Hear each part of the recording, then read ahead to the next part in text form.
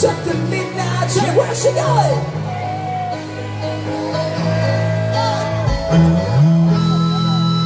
Just a city boy. He's born and raised in South Detroit He took the midnight train one more time.